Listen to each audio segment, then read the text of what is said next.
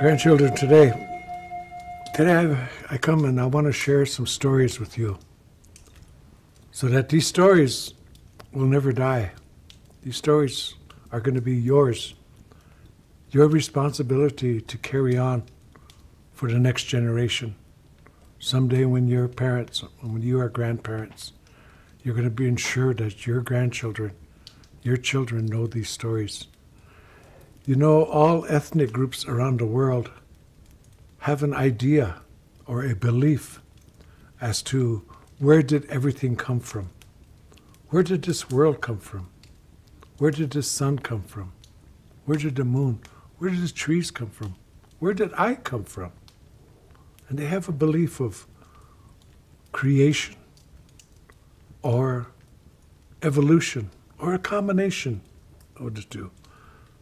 But they, they have some sort of idea where everything came from. Well, as Lakota people, we still talk about our origin story on where everything came from. We talk about an entity, an entity we refer to as Ia. Ia was a power, a massive power, very, very powerful, very powerful that nothing else could exist except for Ia. Ia, at a point, took a part of itself and began to form this orb, and squeezing and squeezing tighter and tighter and tighter and tighter and tighter until what oozed out of it looked like its blue blood, leaving a half hard, brittle body. And Ia called it Makha, earth. Makha existed in total darkness, questioning Ia What's my purpose? What's my reason for being here? Why am I here? Is there anything else? Ia took other parts of itself and created Apewi, the sun, Hanwewi, the moon, Wichakpi Oyate, the stars, the galaxies, the universe, and put everything in correlation with itself. And time went on. Time went on. But at a point, Makha complained. When I face to Ampewi, it becomes very hot, uncomfortable. And so when I turn and I face to Hangwewi, the moon, it becomes dark and it gets cold. Could you give me a covering? Something to protect myself. Ia, in counsel with the other entities of itself, told Makha, if we give you a covering, you must promise to bring forth life and to nourish it. Makha promised. And so life went on. Life went on for time, a very long time. But at a point, life became ugly, very corrupt, senseless destruction, killing. Makha This is not the way that life is intended to be upon me. I must cleanse. Now try to imagine all of these catastrophes happening all at the same time earthquakes, volcanic eruptions, hurricanes, hundreds of them, hundreds of tornadoes. Makha, this one half landmass, shaking and shaking and shaking, shaking so hard that the one half landmass broke apart, broke apart, separating the peoples into the different continents and life went on. But at a point again, eons of time later, life again became very corrupt. Very corrupt. Makha I must cleanse again. Those of you that are keeping the ways of life as intended to be, come deep down inside me where I may protect you. Again, these catastrophes and it came in the form of the Ice Age, changing the surface of the world. when the ice melted back, leaving lakes, bodies of water everywhere. Small lakes, rivers. In this beautiful area today, known as the Black Hills, Chesapa, in the southern Black Hills, we have a trickster in our culture. We call him Iktomi. Iktomi was walking around in the Black Hills. He was wandering around. It was an era of giants, giants, dinosaurs, and bears. Iktomi heard this heavy breathing and took to hiding under the bushes because he thought he was going to be trampled. But he didn't hear the thrashing of trees and shrubs and just a heavy breathing. Now, curiosity always gets the best of Iktomi. So he, he came out from hiding, listening to that breathing. He followed it, and he came upon this opening in the ground. Peered down into that opening and felt the wind come up, and the wind being drawn back in. He looked down into the opening and he saw the subterranean species living deep down in that hold, calling down to them. He said, Come up here, come here. But they were afraid. No, no, no, go away, leave us alone. I'm not going to hurt you. I'm not going to hurt you. Come up here. I want to show you something. One brave young individual says, I'll go see. And this individual came out the very first one to come back to the surface of the world. And we call him Tokahe, which means the very first. Came back to the surface of the world. Iktomi says, Look about you. Look around you. Look around you. Look how beautiful it is. Feel the warmth of that sun. Isn't that nice? Feel that cool breeze. Here, try some of these choke cherries. Eat some of these plums. Aren't they delicious? Lay down in that soft green grass.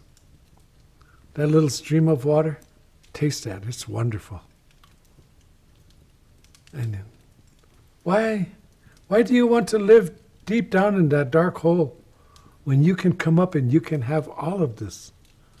Go get your people. I'm going to go find my friend. We're going to prepare a grand feast for you. Bring your people up here. Tokai says, I will do it. He goes back down into the hole, gathers the people together, and he talks about everything he experienced, how wonderful it was. But an elder is there. An elder says, Tokahe, there is danger. You do not know all of the danger that lurks up there. Tokahe says, No, I've seen it all. It's wonderful. We must get ready to go. The elder says, He's being very foolish. I must go ahead and make plans for when danger strikes. And so the old man sneaks away from the group, comes out of the opening, and transforms into the Buffalo Nation. Tokahe and the rest emerge out and Iktomi is there with his companion, Anog Ite, the double faced woman. Very, very beautiful on one side. But she would not let the people see her on this side.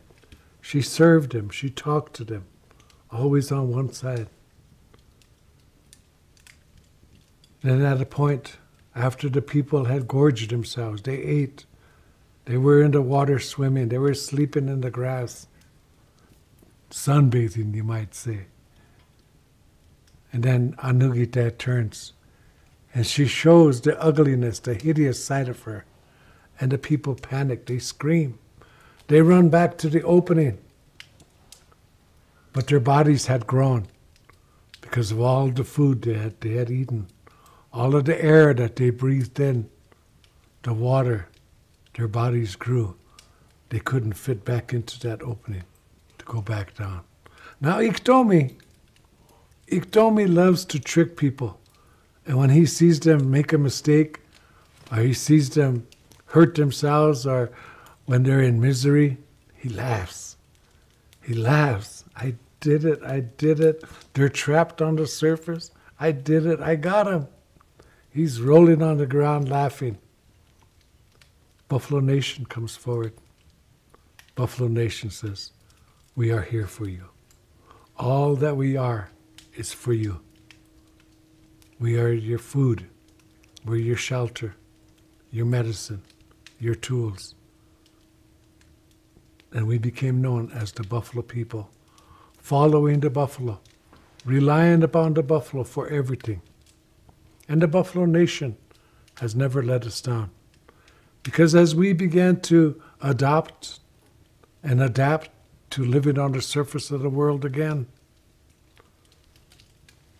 you might say we became a little overbearing, taken more than we needed, taken without respect, taken without giving anything back. The four leggeds, the winged ones, they cut off communication with us. They says, you know, it's because of these two leggeds that the world had to cleanse twice. Maybe this would be a better world without these two leggeds. We should get rid of them. Yes, let's do it. We can do it.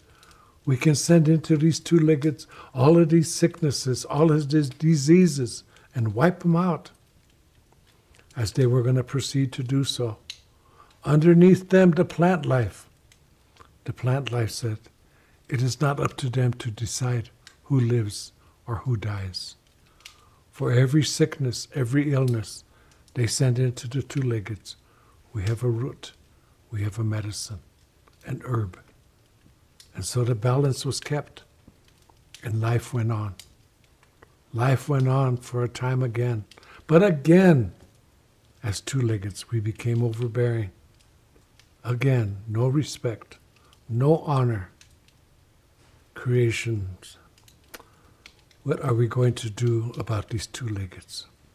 Oh, Buffalo Nation, Buffalo Nation, you said you would be responsible for these two leggeds.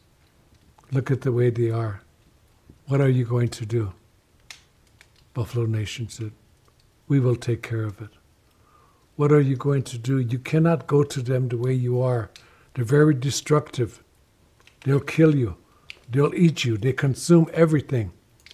What are you going to do? Buffalo Nation said, We will take care of it. So at a point in time, they sent to us from the Buffalo Nation the white buffalo calf woman, bringing to us the sacred pipe to remind us that there is to be a spiritual connection of what is on this earth is in the stars. It's in the universe, and what's in the stars is on this earth, and the spiritual connection must be kept. Remember that story. Thank you.